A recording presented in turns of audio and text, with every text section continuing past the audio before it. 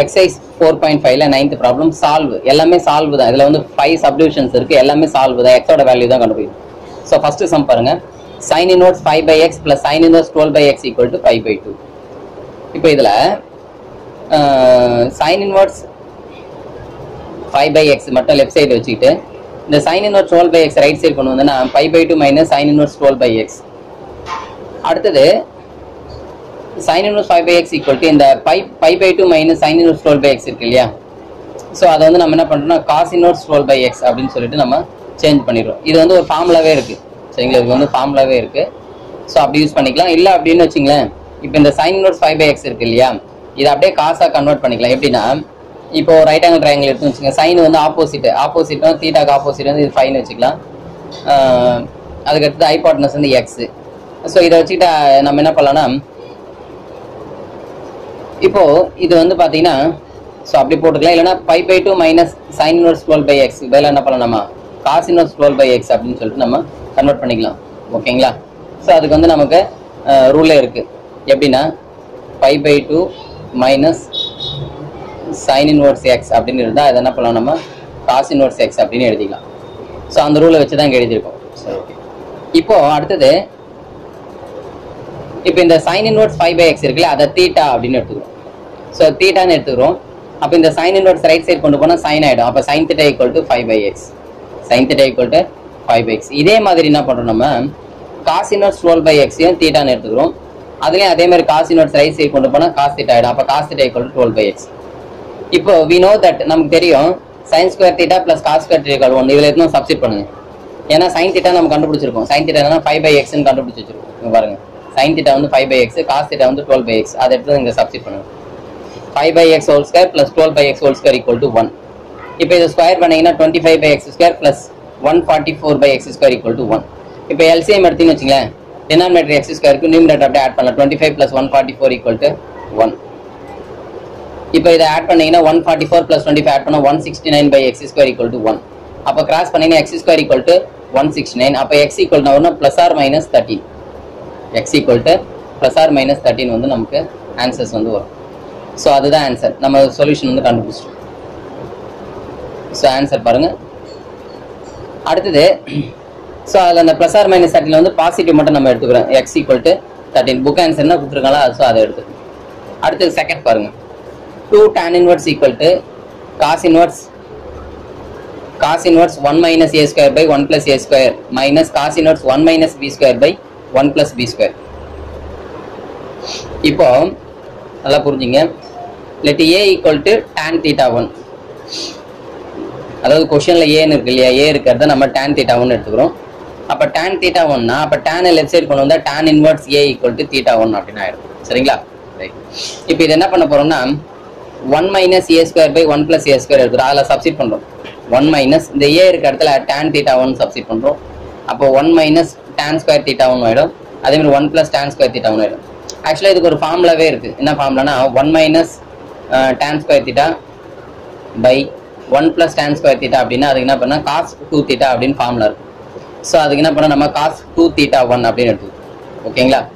அடுத்தது ஸோ இங்கே அவங்களே கொடுத்துருக்காங்க பாருங்க இந்த ஃபார்மில் கொடுத்துருக்காங்க பாருங்க காஸ் டூ தீட்டாக்கு இந்த ஃபார்மில் கொடுத்துருக்காங்க one minus tan square theta one plus tan square தீட்டாக்கு அதுக்கு ஃபார்மில் வந்து காஸ்ட் டூ தீட்டா ஸோ அதனால் இங்கே காஸ்ட் டூ தீட்டா ஒன் எடுத்துக்கிறோம் சிமிலர்லி இஃப் இப்போ எப்படி நம்ம ஏ வந்து பார்த்தீங்கன்னா டேன் தீட்டா எடுத்துக்கலாம் அதே மாதிரி பிஏ வந்து பார்த்தீங்கன்னா டேன் தீட்டா டூன்னு எடுத்துக்கிறோம். அப்போ டேன் தீட்டா டூன்னு எடுத்துக்கிறதுனால ஸோ அதுக்கும் இதே தான் வரும் இல்லையா? அதாவது டேன் தீட்டா டூ எடுத்துட்டா tan inverse b equal to theta 2 இப்போ அதுவும் அதே மாதிரி 1 minus b square by 1 plus B square அதுவும் அதே ஃபார்ம்ல தான் அதே காஸ்ட் டூ தீட்டா டூன்னு வரும். காஸ்ட் டூ தீட்டா டூ அப்படின்னு வந்து ஆன்சர் வந்து ரைட்டுங்களா இது ரெண்டும் வந்துருச்சு. இது ரெண்டுத்தையும் இதுமே கொஸ்டின்ல சப்ஸ்டிட் பண்ணுது கொஸ்டின் ஆக்சுவலா என்ன தெரியுங்களா? 2 tan inverse X equal to cos inverse 1 minus a square by 1 plus a square minus cos inverse 1 minus b square by 1 plus b square. இதுல சப்ஸ்டிட் பண்ணுங்க. Cos inverse இந்த 1 minus a square by 1 plus a square இருக்கு இல்லையா? So அதில் வந்து என்ன பண்ணீங்கன்னா cos two theta one இதுக்கு வேலை காஸ் டூ தீட்டா ஒன் கண்டுபிடிச்சிட்டு அதை சப்ஸ்டிட் பண்ணுங்க. அதே மாதிரி இங்கே இதுக்கு வேலை one minus B square by one plus B ஸ்கொயருக்கு வேலை காஸ் டூ தீட்டா டூன்னு சப்ஸ்டிட் அதையும் சப்ஸ்டிட் பண்ணுங்க. இப்போ இந்த காஸ் இன்வர்ஸ் காஸ் கேன்சல் ஆகிடும் காஸ் இன்வர்ஸ் காஸ் கேன்சல் ஆச்சுன்னா டூ தீட்டா ஒன் அதே மாதிரி இங்கேயும் காஸ் இன்வர்ஸ் காஸ் கேன்சல் ஆனா டூ தீட்டா டூ இது என்ன பண்ணுறோம் டூ ஆல டிவைட் பண்ணுறோம் போத் சைடு ரெண்டு எல்ஹெச்எஸ் ஆர்ஹெச்எஸ் எல்ஹெச்எஸ்ல ஆல்ரெடி என்ன இருக்கு? டூ டேன் இன்வெர்ட்ஸ் எக்ஸ் இருக்கு. இப்போ இந்த ஆல டிவைட் பண்ணும்போது நான் என்ன இந்த டூ இந்த டூ டூலாம் கேன்சல் ஆகிடும் அப்போ tan inverse X equal theta one minus theta two theta ஒன்று நம்ம என்னென்ன எடுத்துக்கிட்டோம்? இங்கே பாருங்க கொஸ்டின்லேயே பாருங்க ஸ்டார்டிங்ல ஸோ தீட்டா ஒன்ன்றது என்னன்னா டேன் இன்வெர்ட்ஸ் ஏ அதேமாதிரி தீட்டா டூன்றது டேன் இன்வெர்ட்ஸ் பி இல்லைங்களா? இப்போ டேன் இன்வெர்ட்ஸ் பி ஸோ அதை இங்கே அப்ளை பண்ணுறோம் தீட்டா ஒன் தீட்டா டூ இருக்கிறதுல tan inverse A minus tan inverse B அதை அப்ளை பண்ணுறோம் இப்போ இதுக்கு ஒரு ஃபார்முலா இருக்குது tan inverse X minus tan inverse Y அப்படின்னு இருந்தால் அதுக்கு என்ன ஃபார்முலானா tan inverse X minus Y by one plus X Y அப்போ A minus B by one plus AB இப்போ லெஃப்ட் சைடில் ஆல்ரெடி என்ன இருக்குன்னா tan இன்வர்ஸ் எக்ஸ் இருக்குது நமக்கு ஆக்சுவலாக எக்ஸ் தான் வேணும். அப்போ இந்த tan இன்வர்ஸ் ரைட் சைடு கொண்டு வந்தா டேன்னு ஆகிடும் அப்போ டேன் ஆஃப் tan இன்வர்ஸ்னு மாறும். இந்த டேன் ஆஃப் tan இன்வர்ஸ் ரெண்டும் கேன்சல் ஆச்சுன்னா ஆன்சர் வந்து A minus B by one plus AB தான் எக்ஸோட வேல்யூ ஸோ நம்ம சால்வ் பண்ணிட்டோம் எக்ஸோட வேல்யூ நம்ம கண்டுபிடிச்சிட்டோம். அடுத்து தேர்டு பாருங்க two tan inverse cos X equal to tan inverse two cosecant X ஓகேங்களா இப்போ இதுக்கு என்ன பண்ண போறோம் அப்படின்றத பார்க்கலாம் இப்போ நமக்கு என்ன நமக்கு ஃபார்முலா தெரியும் we know that tan inverse A plus tan inverse B என்ன formula tan inverse A plus B by one minus AB அப்படின்றது ஃபார்முலா இப்போ அதை தான் யூஸ் பண்ண போகிறோம் எப்படின்னா இந்த two tan inverse cos X இருக்குல்ல அதை மட்டும் எடுத்துக்கிறோம் two tan inverse cos X அதாவது ரெண்டு டேன் இன்வெர்ஸ் காஸ் எக்ஸ் இருக்கு அப்போ அது எப்படி எழுதலாம்னா tan inverse cos X plus tan inverse cos X அப்படின்னு ஸ்பீட் பண்ணிட்டோம் இப்போ இது எப்படி நம்ம இருக்கு? Tan inverse A plus tan inverse பின்னு இருக்கு. அப்போ எப்படி எழுதலாம்? Tan inverse A plus B by one minus AB அப்போ cos X plus cos X by one minus cos X into cos X அதாவது cos X plus cos X வந்து two cos X cos X into cos X வந்து cos square X அப்போ tan inverse என்ன ஆயிடுதுன்னா two cos X by one minus cos இந்த one minus cos square எக்ஸ்க்கு பதிலாக sine square எக்ஸ்னு எழுதலாம். இல்லைங்களா? அதே அதை எழுதிட்டோம். இது அப்படியே இருக்கட்டும். இப்போ மறுபடியும் கொஸ்டினுக்கு போயிடலாம். மறுபடியும் கொஸ்டின் கொடுத்துறாங்க கொஸ்டின் அப்படியே ஃபுல்லாக இப்போ நம்ம லெஃப்ட் சைடில் இருக்கிறத தான் மாற்றிருக்கோம் ரைட் சைடில் இருக்கிற ஆர்ஹெச்எஸ்ல இருக்கிறது அப்படியே தான் இருக்கு. அப்போ இப்போ பாருங்க அப்படியே கொஸ்டின் எடுத்து எழுதிட்டாங்க. Two tan inverse cos X equal to tan inverse two cosecant X அதில் அந்த லெஃப்ட் சைடு மட்டும் நம்ம வேற மாதிரி மாற்றிக்கலாம் எதுனா tan inverse two cos X by கா சயின்ஸ் ஸ்கொயர் எக்ஸ் இருக்குல்ல அதை சப்ஸ்டிட் பண்ணுங்க ரைட் சைடு எதுவுமே பண்ணலாம் நம்ம.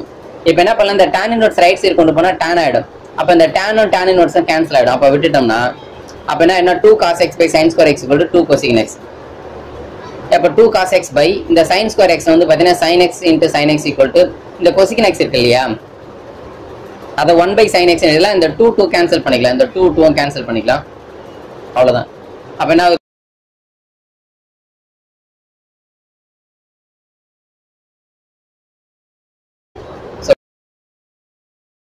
வந்திருக்கு. நமக்கு தேவை எக்ஸ் தான் வேணும் இல்லைங்களா? ஸோ நமக்கு வேணும் எக்ஸ் தான் வேணும். நல்லா புரிஞ்சுங்க. Cos X by sine X equal to one அப்போ இந்த கிராஸ் பண்ணீங்கன்னா cos X equal to sine எக்ஸ்னு வரும். காசும் காசும் சைனும் எந்த டிகிரியில் ஈக்குவல் அப்படின்னு பார்த்தீங்கன்னா ஃபைவ் பை ஃபோரில் அப்போ X equal to five by four is answer so X equal five by four தான் நமக்கு ஆன்சர் அடுத்தது ஃபோர்த்து பாருங்க. Fourth subdivision cot inverse X minus cot inverse X plus two equal to five by twelve அப்படின்னா எக்ஸோட value என்னன்னு கேட்குறேன் இப்போ என்ன பண்ண போகிறேன்னா இந்த காட் இன்வர்ஸ் எக்ஸ் இருக்கு இல்லையா அதை டேனாக மாற்றலாம் எப்படின்னா காட் இன்வர்ஸ் எக்ஸ்னா அப்போ அதை டேனாக மாற்றினா அது ரெசிப்ரோக்கல் பண்ணலாம். டேன் இன்வர்ஸ் ஒன் பை எக்ஸ்னு போடணும். அதே மாதிரி cot inverse X plus two எப்படி வரலாம்? Tan inverse one by X plus two அப்படின்னு இது ப்ராப்பர்ட்டி இருக்குது சரி இப்போ இதை டேன் இன்வர்ஸாக மாற்றிட்டோம் இப்போ tan inverse A minus tan inverse பின்னு இருக்கா? அப்போ அதுக்கு ஃபார்முலா இருக்குது tan inverse A minus B by one plus AB அந்த ஃபார்முலாவில் அப்ளை பண்ணுங்க. எப்படின்னா tan inverse A minus B one by X minus one by X plus two by one plus one by X into one by X plus two அவ்வளோதான் இப்போ simplify பண்ணுங்க பார்க்கலாம். Tan inverse இது LCM எடுத்துங்க. X into X plus two இந்த X plus டூவை cross பண்ணுங்க. இந்த எக்ஸை கிராஸ் பண்ணுங்க. அதே மாதிரி டினாமினேட்டர்ல அதே மாதிரி X into X plus two இந்த எக்ஸ் இன்ட்டு எக்ஸ் ப்ளஸ் டூவை கிராஸ் பண்ணுங்க. Plus one into one one so அதுதான் இங்கே இருக்குங்க. பாருங்க இதில் எது எதுனா இந்த எக்ஸ் கேன்சல் ஆகிடும் plus X minus X cancel ஆச்சுன்னா. ஸோ அதுதான் இங்கே கொடுத்துருப்பாங்க. இந்த எக்ஸ் எக்ஸ் கேன்சல் ஆகிடும் அதே மாதிரி இந்த X into X plus two X into X plus two cancel ஆகிடும் அப்போ ஆன்சர் நான் டூ பை அவங்க பிரீஃபாக போட்டிருக்காங்க பட் அதை கேன்சல் ஆகி பண்ணிக்கலாம் அது பாருங்க X into X plus cancel அப்போ டூ பை இந்த எக்ஸ் உள்ள மல்டிப்ளை பண்ணும்போது கேன்சல் ஆகிடும் அதுக்கடுத்து பேலன்ஸ் இருக்கிறது இந்த X square plus two X plus ஒன்று தான். ஓகேங்களா இப்போ நம்ம இந்த பை பை டுவெல் இருக்கு இல்லையா? இந்த பை பை டுவெல்ல பை பை டுவெல்ன்றது ஆக்சுவலாக பதினஞ்சு டிகிரி தான் பை பை டுவெல்ன்றோம் அதை எப்படி எழுதுறாங்க பாருங்க? ஃபார்ட்டி ஃபைவ் மைனஸ் தேர்ட்டின்னு எழுதுறாங்க. இந்த பை பை டுவெல்ல ஃபைவ் பை டுவெல்ன்றது பதினஞ்சு டிகிரி ஆக்சுவலாக ஒன் எயிட்டி பை டுவெல் எழுத கேன்சல் பண்ணால் ஃபிஃப்டின் வரும். அந்த பதினஞ்சு நாற்பத்தஞ்சு மைனஸ் முப்பது. ஃபார்ட்டி ஃபைவ் மைனஸ் தேர்ட்டினா பதினஞ்சு தான்.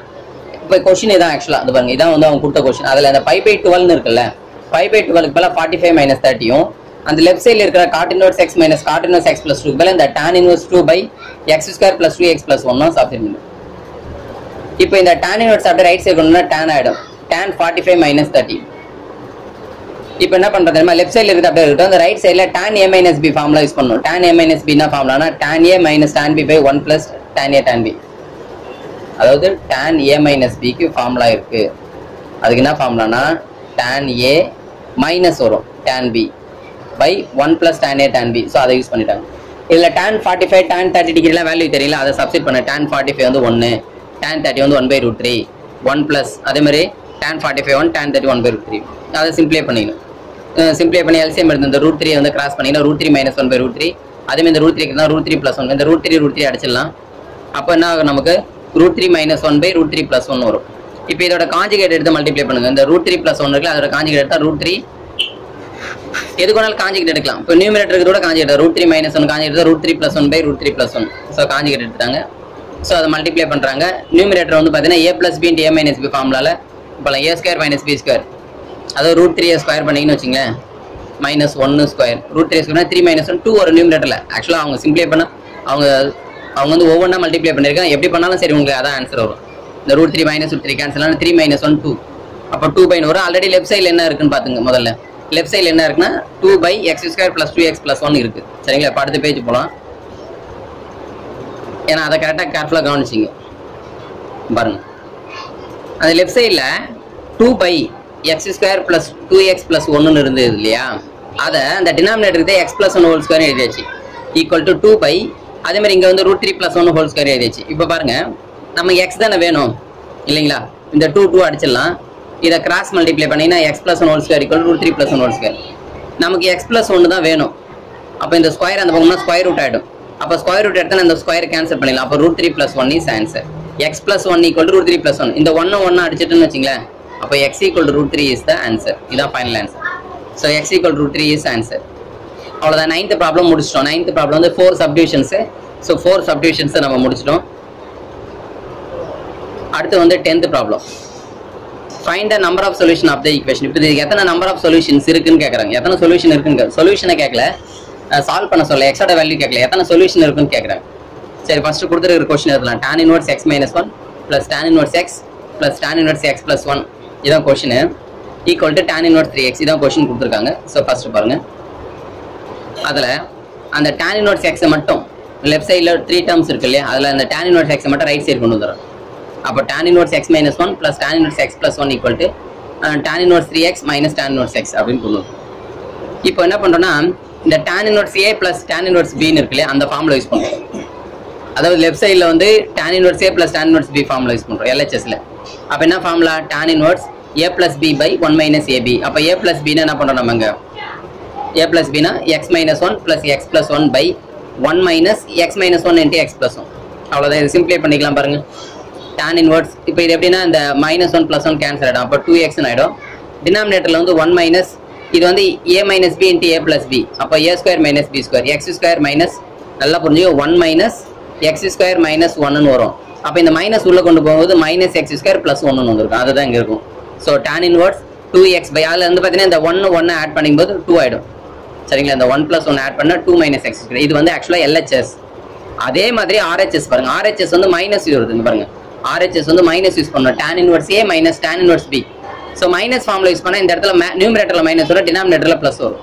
ஸோ அதுதான் மைனஸ் ஃபார்முலா ஸோ அதுதான் இங்கே ரெண்டாவது யூஸ் பண்ணியிருப்போம் tan inverse A minus tan inverse B equal to tan inverse A minus B by one plus AB அப்போ என்ன பண்ணுறோம் tan inverse three x tan inverse x இப்போ அது எப்படி எழுதலாம்னா tan inverse three x minus x by அதான் tan inverse A minus tan inverse அதாவது A minus B by one plus AB இதை சிம்ப்ளை பண்ணுங்களேன். த்ரீ எக்ஸில் ஒரு எக்ஸ் செப்பரேட் பண்ணால் டூ எக்ஸு அப்போ one plus three x into x வந்து three x square இது ஆர்ஹெச்எஸ் ஆக்சுவலாக ரெண்டு ஈக்குவல் இல்லையா? அதுதான் கொஷின் எல்ஹெச்எஸ் ஈக்குவல் ஆர்ஹெச் ரெண்டு ஈக்குவல் ரெண்டு ஈக்குவேட் பண்ணுங்க. ரெண்டுத்துக்கு வந்துரு answer tan inverse two x by two minus x square அதே மாதிரி இங்கே tan inverse two x by one plus x square இப்போ இந்த டேன் இன்வர்ஸ் ரைட் இருக்கணும் டேன் ஆகிடும் அப்போ டேன் டேன் இன்வர்ஸ் கேன்சல் ஆகிடும் இது கேன்சல் ஆயிடுச்சுன்னா two x by two minus x square equal to two x by one plus x இந்த two x two x கூட அடிச்சிடலாம்.